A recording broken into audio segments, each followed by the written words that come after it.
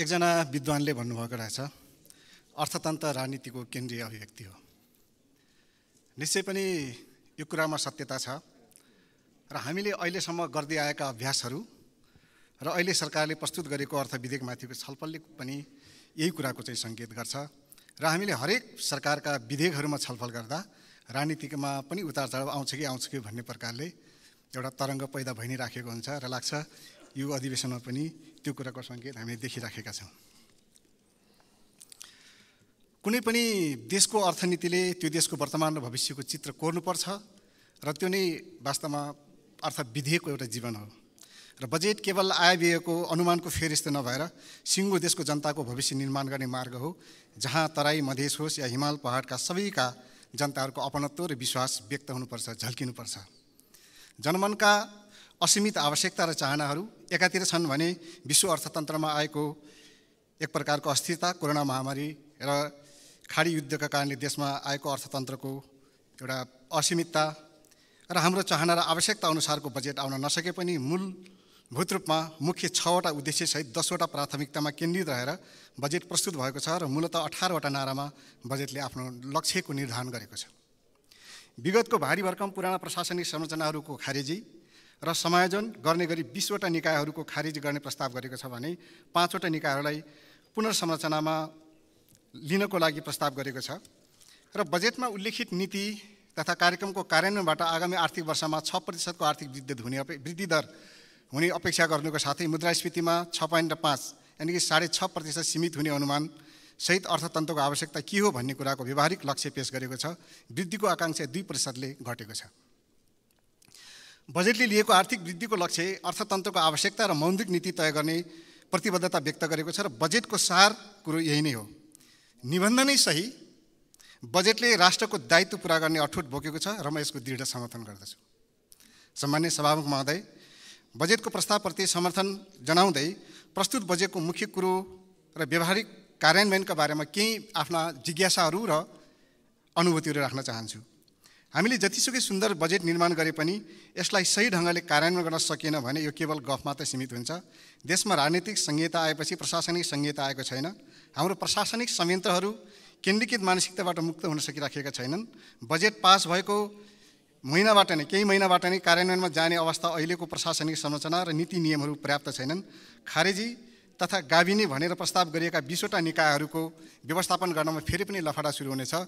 अहिलेसम्म मालिक भएर कदाइ गरेका अधिकृतहरूको कसको माथामा बस्ने भन्ने लडाइँ सुरु हुन्छ र राजनैतिक दल र नेताहरू तिनीहरूको पक्ष लिने र लिने पक्षधरता जनाउने प्रक्रियाको सुरुवात हुन्छ र यो प्रक्रियाको व्यवस्थापन ठुलो चुनौती हुनेछ र यसको समाधानमा सरकारले एकदमै ध्यान दिन जरुरी छ। अमुक जिल्ला र अमुक आयोजनामा बजेट पार्नलाई कि त पहुँच हुनुपर्ने कि त मन्त्री नै हुनुपर्ने पुरानो प्रवृत्तिको पुनरावृत्ति अहिलेको बजाय बजेटमा पनि देखा पर्यो। बजेटको मन्त्रालयगत विनियोजन हेर्दा शिक्षा स्वास्थ्य र भौतिक पूर्वाधारमा एकदमै अपर्याप्त बजेट विनियोजन भएको पाइयो। यसले संयुक्त सरकारको प्राथमिकता र साझा न्यूनतम कार्यक्रमको आवश्यकतालाई सम्बोधन गर्न सक्दैन। बजेटको प्रवृत्तिले एकात्मक राज्य प्रणालीको झल्को दिन्छ। माफ गर्नुहोला यो यस्तै प्रकारको मलाई लाग्यो। दैनिक उपभोग्य वस्तुहरू र विलासी वस्तुहरूमा गरेको करको वृद्धि दरले स्वाधीन अर्थतन्त्रको विकासभन्दा पनि दलाल पुँजीवादको विकासलाई प्राथमिकता दिएको छ। यसले समाजवाद उन्मुख राष्ट्र निर्माणको संवैधानिक व्यवस्थालाई सम्बोधन गर्न सक्दैन। यत्रो राष्ट्रिय गौरवको थुप्रै योजनाहरू प्रस्तुत हुँदै गर्दा लुम्बिनी प्रदेशमा रहेको विगत सरकारका नीति कार्यक्रमहरूमा समेत पनि समावेश हुँदै आएको दुई सय किस बिस किलोमिटरको शहीद मार्गको नामै नआउनु योजनाबद्ध छुटेको हो या ध्यान नपुगेको हो।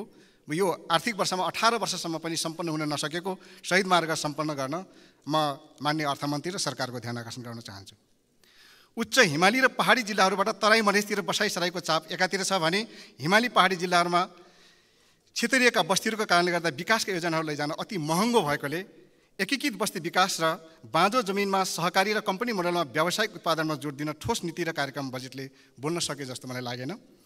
पुँजीवादले शोषणमा आधारित व्यवस्था कायम राख्न चाहन्छ भने समाजवादीहरू समतामूलक न्यायसहितको राज्य व्यवस्था चाहन्छन्। अत यसलाई यसरी नै भन्न सकिन्छ कि योग्यता अनुसारको रोजगार रोजगार अनुसारको तलब गुणस्तरीय शिक्षा र स्वास्थ्यमा राज्यको दायित्व अवकाशको अवस्था एवं अवकाश पछिको समयमा सामाजिक सुरक्षा नै नेपालको सन्दर्भमा समाजवादको प्रारम्भिक मोडेल हुनसक्छ बजेटको नारामा यो कुरालाई समेट्ने प्रयास भएको छ तर कार्यान्वयन प्रक्रिया नै जटिल छ। सरकार यसमा दृढतापूर्वक कार्यान्वयन गरोस् भन्ने म कामना गर्दछु। किसानको समस्याहरू छन्। किसानले समयमा मल बिउ नपाएर बाली नाली नासुने नासिने कोही भने श्रम वा उद्यम नै नगरिकन झन्झन धनी बन्दै जानु दिन प्रतिदिन हजारौँ युवाहरू विदेशतिर पलायन हुनु देशमा कुनै रोजगारको व्यवस्था नहुनु अनुसन्धान केन्द्र नासका हाम्रो वैज्ञानिकहरू काम नपाएर घाम तापे तापेर बस्ने जस्तो अवस्थाले हाम्रो संविधानमा उल्लेखित समाजवाद उन्मुख अर्थनीतिलाई गिज्याइरहेको छ र अहिलेको बजेटले यसका समाधान गर्छ कि गर्दैन भन्ने कुरामा संशय पैदा भएको छ। नेपालमा अर्थतन्त्रको चाबी दलाल नोकरसाई पुँजीपतिहरूको हातमा छ। यति त हामीले भन्नै पर्छ यो बुझेकै विषय हो।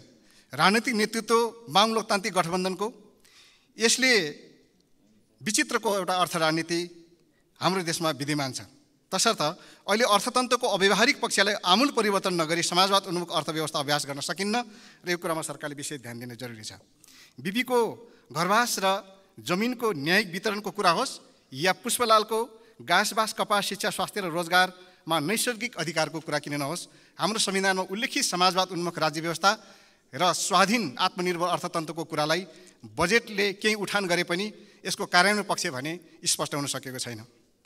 सहकारी समाजवादी अर्थनीतिको एउटा प्रारम्भिक हुट्किलो तर अहिले कुनै निश्चित परिवार र धनी मानिसहरूको चङ्गुलमा परेका सहकारी संस्थाहरूले विपन्नका हित गरेका छैनन्। अझ वित्तीय सहकारी संस्थाहरूले त सहकारी बङ्क बैङ्कबाट सस्तो ब्याजमा ऋण लिने र विपन्न गरिब किसानहरूलाई चर्को ब्याज असुल्ने आधुनिक सुत्कोरको भूमिका निर्वाह गरेका छन्।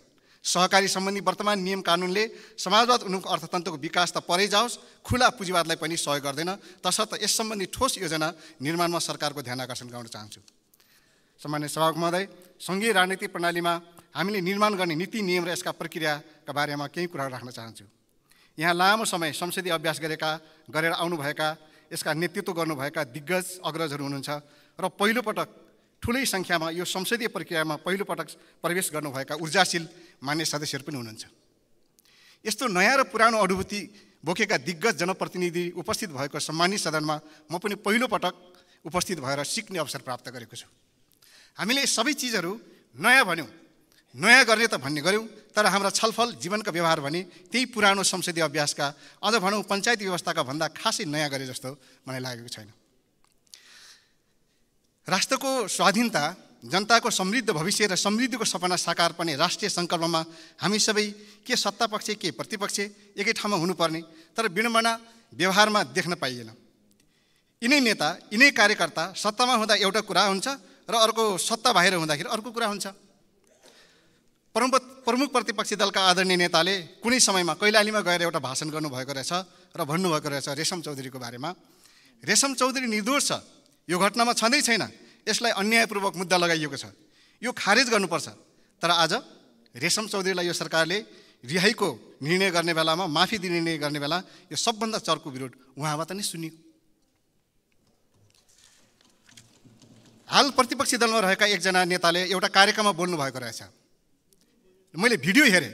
त्यो के भन्नुभएको रहेछ भने गाँजाको रेसाबाट बनेको कपडाको कोट कम्तीमा अन्तर्राष्ट्रिय बजारमा पाँच सयदेखि हजार डलरमा एक पिसको बिक्री गर्न सकिन्छ। गर्छौँ। यो कानुन पास गर्यो भने हरेक नेपालीलाई मिनिमम वार्षिक बिस पच्चिस लाख कमाउने गरी ग्यारेन्टी दिन्छु भन्ने ठोकुवा गर्नुभएको रहेछ। लोकल रक्सी त आफ्नै सिप हो। यसलाई किन प्रोत्साहित नगर्ने? गाँजा खाने शिवलाई चाहिँ हामीले भगवान् भनेर ढोक्न जाने अनि गाँजालाई हामीले हिट गर्ने भनेर भन्नुभएको रहेछ।